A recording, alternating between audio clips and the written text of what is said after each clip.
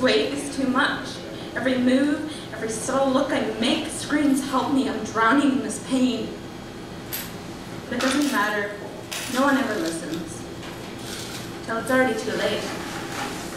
Voices taunting me, they don't want you. They won't miss you. Do it. And eventually I did. But I tried. Oh God, how I tried. Still, now I stand with bottle in hand, took too many pills, trying to kill my insides.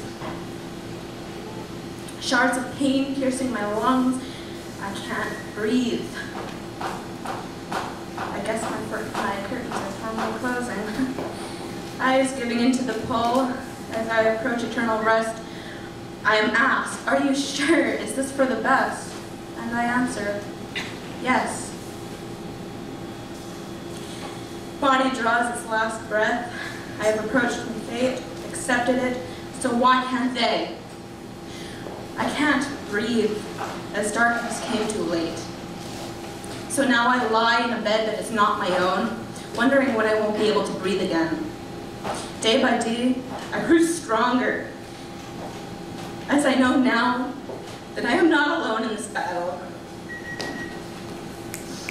With broken wings, I returned home, greeted by people who love me. I have never felt such a thing before now. Surrounded by friends, family, people I didn't even know. That lingering pain I had brought with me for so long suddenly disappeared, as if it didn't exist. It took me a while, and don't trust me, the trials were brutal, but I overcame. Damn disease because I am stronger than it. It's taken time, but now I think my wings are finally healed.